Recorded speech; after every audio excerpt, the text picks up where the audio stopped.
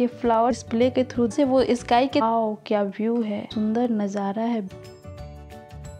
जैसा प्रतीत होता है। Hello friend welcome back to my channel आज की इस वीडियो में मैं आप लोगों को अपना हाउस टूर कराने वाली हूँ। वीडियो के दौरान आपको काफ़ी सारी यूनिक चीज़ें देखने को मिलेंगी। तो वीडियो को एंड तक ज़रूर देखिएगा। चलिए वीडियो को स्टार्ट करते हैं। ये है हमारे हाउस का मेन इंट्रांस चलिए अंदर चलते हैं। बिल्कुल अंधेरा है। लाइट्स ऑन करती हूँ मैं। ये शू स्टोरेज कैबिनेट है।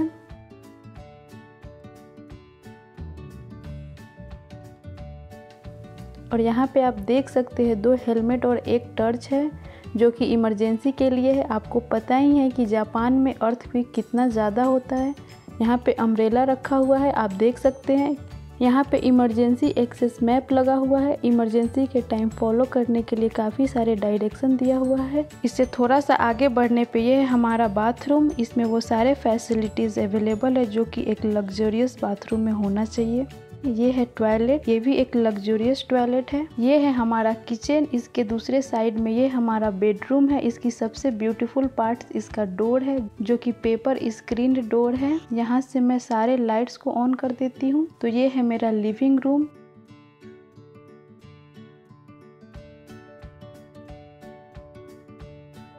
ये फ्लावर कितना खूबसूरत है ना? यहाँ पे सोफ़ा लगा हुआ है। मॉर्निंग या इवनिंग में यहाँ पे बैठ के हम हस्बैंड वाइफ चाय या कॉफ़ी का मज़ा लेते हैं और साथ ही काफ़ी सारी गॉसिप भी होती है। अब हम इधर आते हैं। तो ये है हमारा ऑफ़िस। यहाँ पे बैठ के मैं अपना वीडियोस एडिट करती हूँ। इंटरनेट राउटर भी लगा हुआ है यहाँ। यहीं से मैं अपना वीडियोस भी अपलोड करती हूँ और इंटरनेट से जुड़ी हुई वर्क यहीं से कर लेती। अब हम इधर आते हैं। यहाँ पे है टेलीविज़न रखा हुआ और यहाँ पे हम इसके रिमोट्स रखते हैं ताकि इजी हो। कई बार हम टीवी या एसी चलाने जाते हैं तो रिमोट ही नहीं मिलता। आपके साथ भी ऐसा होता है क्या? कमेंट करके ज़रूर बताना हाँ। यहाँ पे मेरे बेटे के टॉयज़ रखे हुए हैं हमने। ये रिमोट कंट्रोल यूनिट है। जो भी गेस्ट या विजिटर्स आते हैं वो पहले नीचे बिल्डिंग के मेन इंट्रांस से और मेरे घर के बाहर दोनों जगह से डोर ओपन करने के लिए हमें कॉल करते हैं। मैं उनको इस डिस्प्ले के थ्रू देख सकती हूँ, बात कर सकती हूँ। यहीं से ओपन बटन प्रेस करके नीचे वाले डोर को भी ओपन कर सकती हूँ। इमरजेंसी अलार्म भी है, उसे भी एक्टिव मैं कर सकती हूँ। तो है ना, बहुत ही कमाल की चीज़ मानते हैं ना आप? अब चलते हैं आगे।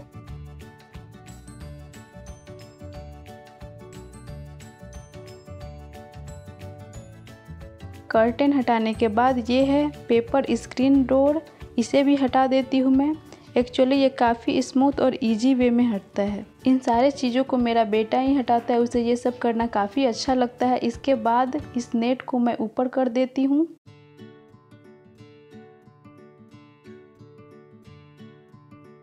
और विंडो को ओपन करने के बाद कॉरिडोर से बाहर का व्यू काफ़ी अच्छा लगता है।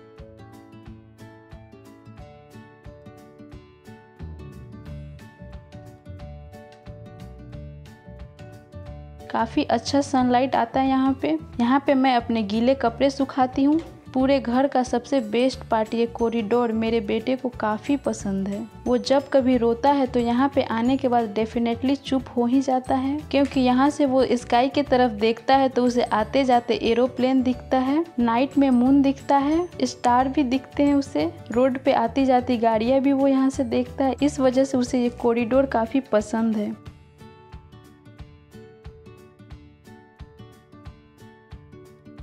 और कॉरिडोर से कुछ इस तरह दिखता है मेरा घर। वाओ क्या व्यू है।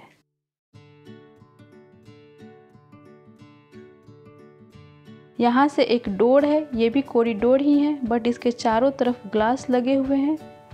तो बच्चों के लिए ये काफ़ी सेफ़ है, और हर्ष को तो ये जगह भी काफ़ी पसंद है। खास करके ठंड में वो बिना बाहर निकले ही बाहर का पूरा व्यू देख लेता है।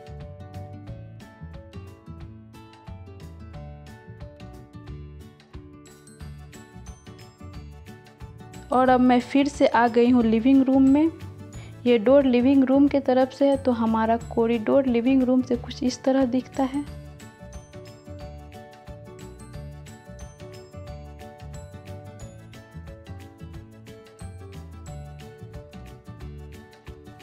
अब मैं आपको अपना बेडरूम दिखाती हूँ। पेपर स्क्रीन डोर को ओपन करने के बाद ओ माय गॉड कितना सुंदर नज़ारा है बेडरूम का। एक्चुअली हमने सेलिंग लाइट ऑन नहीं किया है, सिर्फ़ टेबल लाइट ही ऑन है, और शायद इस वजह से भी इसका ओवरऑल लुक काफ़ी अच्छा लग रहा है। और अब मैं सेलिंग लाइट ऑन कर रही हूँ। आपको कैसा लगा कमेंट बॉक्स में ज़रूर बताइएगा।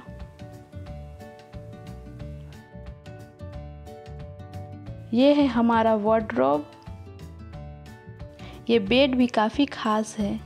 ये मूवेबल है, इसके नीचे छोटे छोटे बट बहुत ही स्ट्रॉन्ग व्हील लगे हुए हैं, जिसके कारण हम आसानी से इसे एक जगह से दूसरे जगह मूव करा सकते हैं।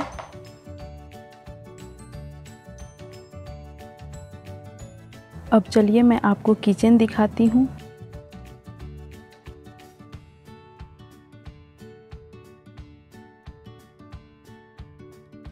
सबसे पहले मैं इसका ये बेस्ट चीज़ दिखाती हूँ। हॉट वाटर के लिए रिमोट कंट्रोल यूनिट लगा हुआ है, जिससे हम किचन के वाटर टेम्परेचर को कंट्रोल कर सकते हैं।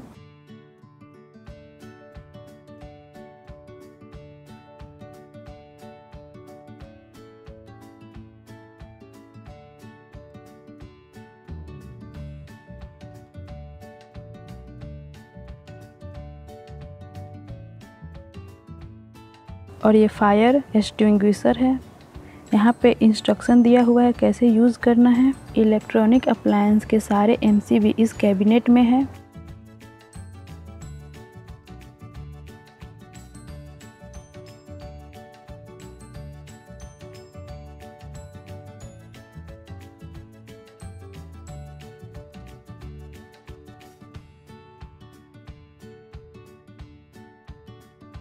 ये सारे सेंसर लगे हुए हैं। मोस्टली यहाँ पे सारे चीज़ों में सेंसर लगे होते हैं। ये है माइक्रोवेव ओवन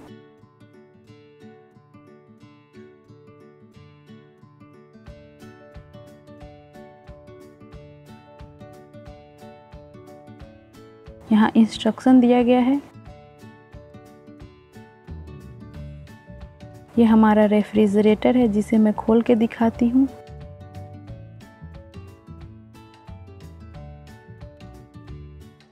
ये दोनों डीप फ्रीज़र है, जैसा कि आप लोग जानते ही होंगे। इसमें हमने फ्रोज़न आइटम्स रखे हुए हैं।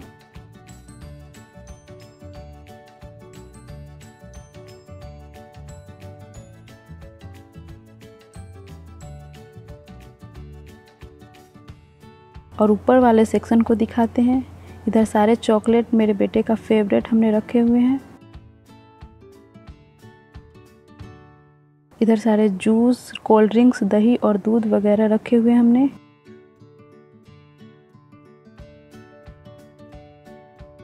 इधर स्वीट्स रखी हुई है, इसमें से कुछ हमने खुद बनाई है और कुछ मार्केट से ली है। नीचे हमने सब्ज़ी फ्रूट्स वगैरह रखे हुए हैं।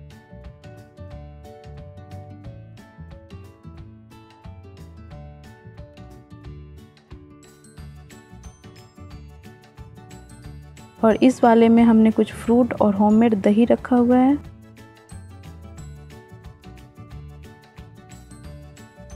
तो ये है हमारे फ्रिज का इनसाइड व्यू। अब आगे बढ़ते हैं।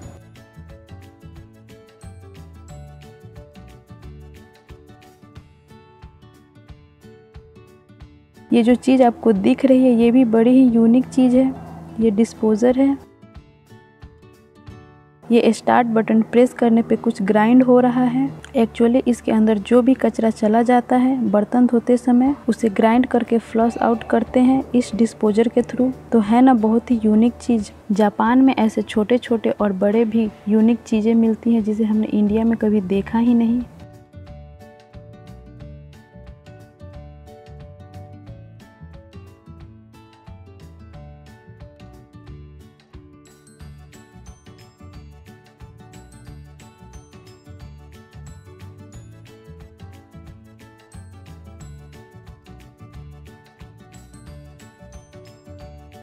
इस वाले ड्रॉवर में हमने कुछ बिस्किट्स और स्नैक्स रखे हुए हैं। और इधर भी हमने काफ़ी सारी चीज़ें रखे हुए हैं, आप देख सकते हैं, जैसे कि अचार, टी, कॉफ़ी वगैरह।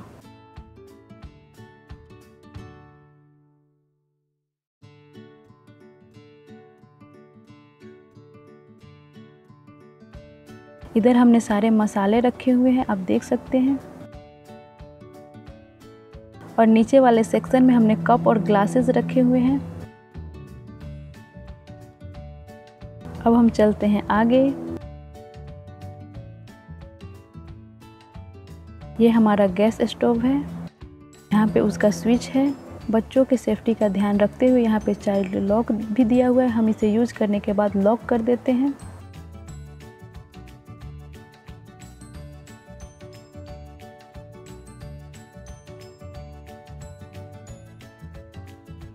ये है ग्रिल।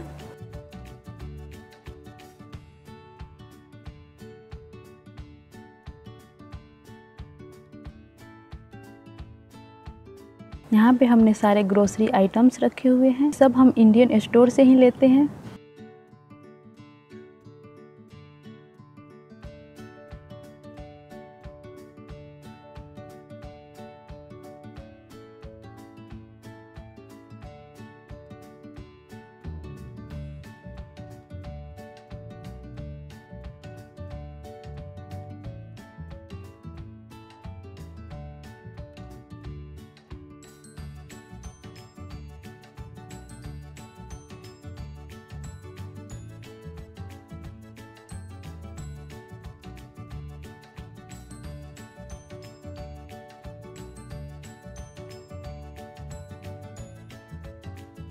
इधर हम अपने क्रॉकरी और फ्राई पिन्स वगैरह रखे हुए हैं। और इस वाले ड्रॉवर में हमने स्पून, फॉक, नाइफ वगैरह रखे हुए हैं।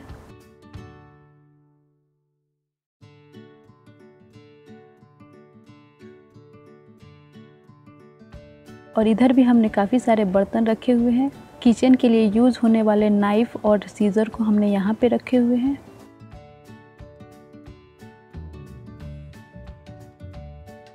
और ये जो आपको बड़ा सा कुछ दिख रहा है, ये मोटर है, इसके थ्रू ही ग्राइंड होता है। ये सिंक से अटैच्ड है। काफ़ी स्ट्रॉन्ग है ये।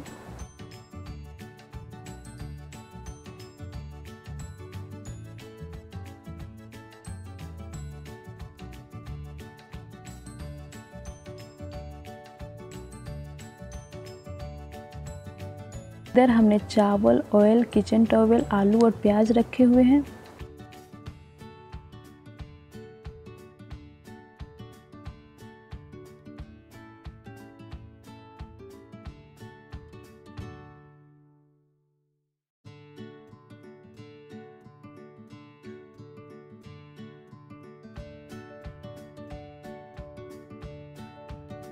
हमने डोर को बंद कर दिया है।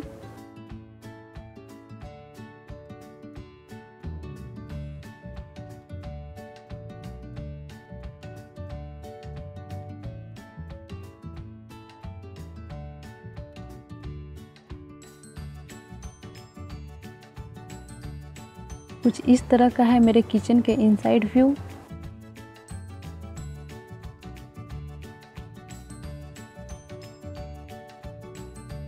तो चलिए अब मैं अपना लग्जोरियस टॉयलेट का सैर कराती हूँ।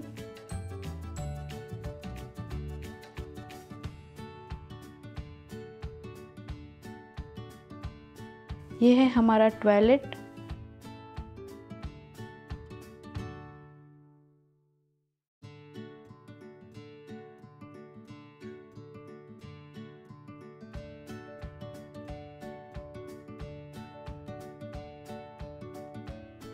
यहाँ पे टॉयलेट पेपर टॉवल सब कुछ अवेलेबल है।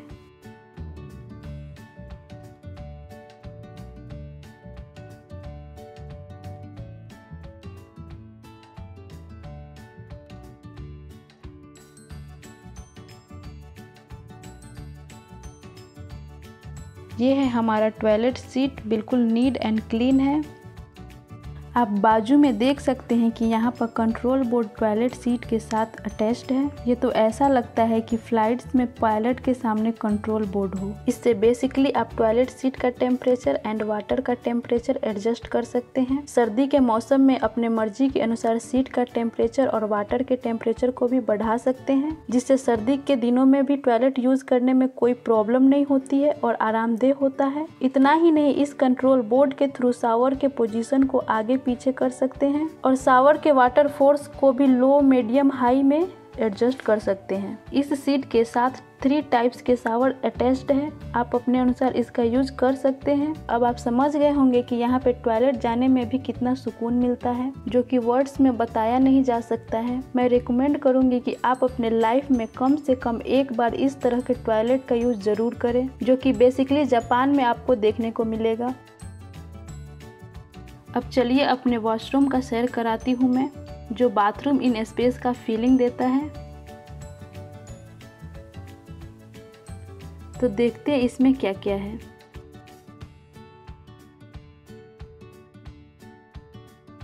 लाइट्स को ऑन कर देती हूँ।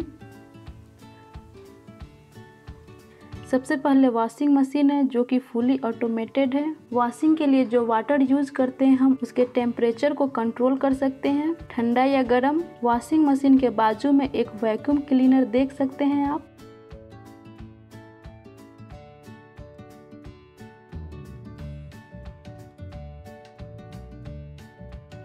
अब आप सुंदर सा वॉशिंग टेबल विद बेसिन देख सकते हैं। बेसिन के जस्ट ऊपर एक बड़ा सा आईने का वॉल देख सकते हैं, जिसमें अपने पूरे बदन को ऊपर से नीचे तक आसानी से देख सकते हैं। यहाँ पे हमने अपना टूथ ब्रश और टूथपेस्ट रखा हुआ है। वॉशिंग के लिए आप ठंडे और गर्म पानी का यूज़ कर सकते हैं, जो कि इस साइड में गर्म आता है और इस साइड में ठंडा आता है।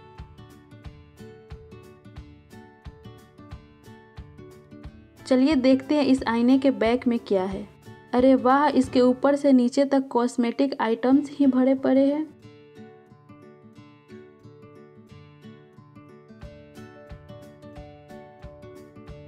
इसमें वॉशिंग के लिए बहुत सारे सामान हैं।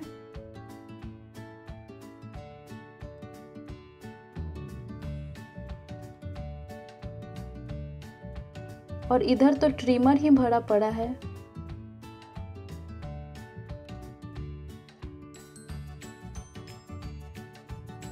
तीनों मिरर को एक साथ ओपन करने पे कितना अच्छा व्यू आ रहा है।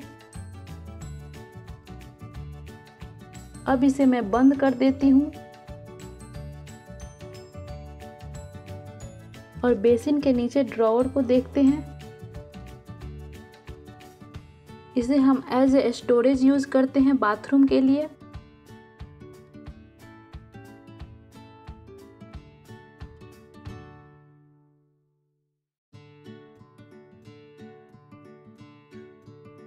ये है मेरे वॉशरूम का नज़ारा, जो कि ऊपर देखने पे इसके लाइट्स चाँद जैसा प्रतीत होता है।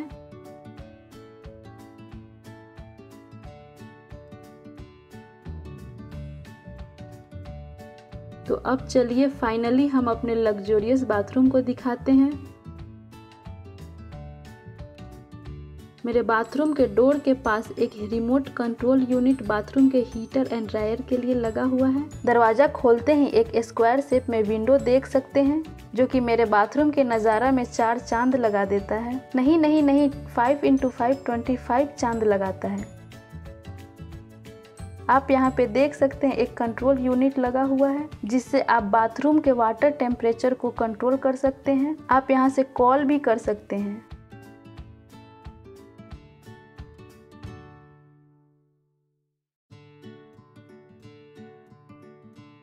वाओ, कितना अच्छा टब है। टब के जस्ट ऊपर सेलिंग में आप एक अप्लायंस देख रहे होंगे जो कि हीटर एंड ड्रायर है, जिसका ऑपरेशन आप दरवाजे के बाहर लगे हुए रिमोट कंट्रोल से कर सकते हैं। बेसिकली सर्दी के दिनों में हम इस हीटर का यूज़ करते हैं, जो कि पूरे बाथरूम को एक बहुत ही कंफर्टेबल इन्वायरमेंट देता है। जबकि ड्रायर का यूज़ गीले कपड़े को ड्राई करने के लिए करते हैं। इतना ही नहीं कभी कभी तो इस ड्रायर का यूज़ स्नान करने के बाद बदन को सुखाने में भी कर लेते हैं।